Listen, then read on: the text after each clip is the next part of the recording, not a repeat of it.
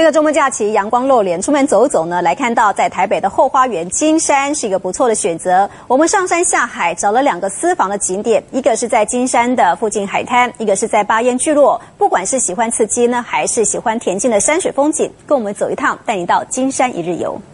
冬天来到海边，像我穿这么多不及格，要像他一样，全身上下都是防寒衣。你进来做什么？冲啊！好，出发。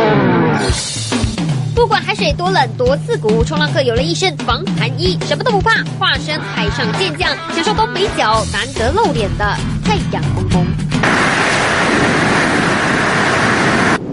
浪来了，左右手快滑，一个箭步站上浪板，乘风破浪耍帅一下。年轻人身体好，边玩还能锻炼身材。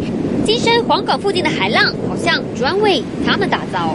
今天的浪你觉得怎么样？啊，会不会冷啊？今天？不会冷啊，但是肯定你好像有鼻音了，是不是？真的会冷，对不对？还是会流鼻涕？有一点。这块美丽的池塘其实是人工造景，原本它是一块地瓜田。本来不起眼的石头和枯木，生态保育专家巧手一变，反倒成为池塘中最重要的角色。从上游引进山泉水，这是金山八岩聚落的池塘，叫做水中央。过去农民在那边种田的时候，其实也没有感觉，反正就是缠着去缠啊。然后你说那个井，它完全没有画面。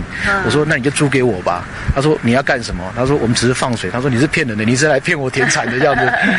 放眼望去，蓝天白云加上绵延山岚，仿佛人间仙境。有人爱刺激，有人喜欢恬静山水风光。